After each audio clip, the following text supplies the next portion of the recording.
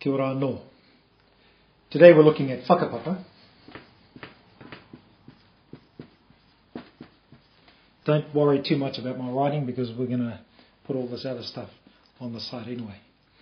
That'll explain. Anyway, anyway whakapapa is genealogy.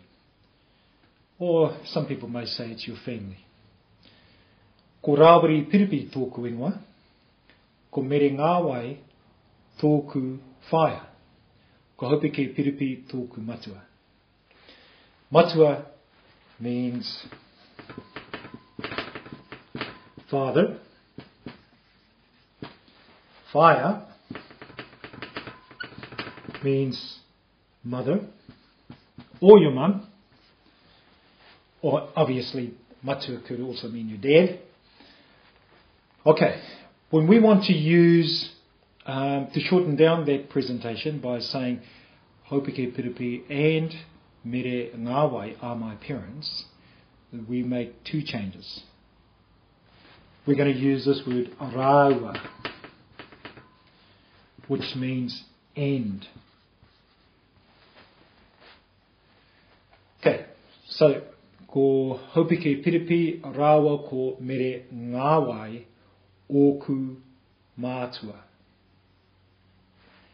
Okay, now you might ask, the question, what about this word here, matua? Well, when we use mātua, we're looking at parents. Okay, note that matua means father, whereas mātua means parents. The other clue that we have to put in there is we use toku, which means my. Singular, one person.